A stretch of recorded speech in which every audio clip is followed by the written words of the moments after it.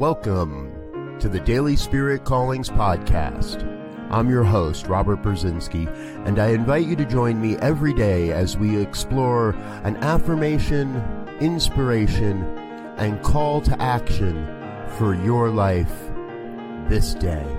And today is April 19th, 2018. Here is your Daily Spirit Calling.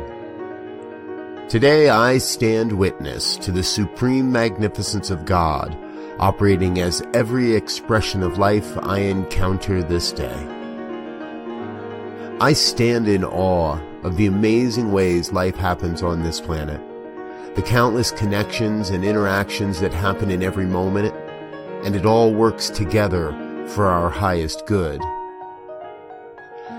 Today you are called to invest a portion of your day admiring and honoring the awe-inspiring complexity of life all around you. Thank you for listening to Daily Spirit Callings. If you found value in this program, please share it with your friends. Learn more about Spirit Evolving Ministries at spiritevolving.com. Until next time, peace and blessings. Go forth and prosper.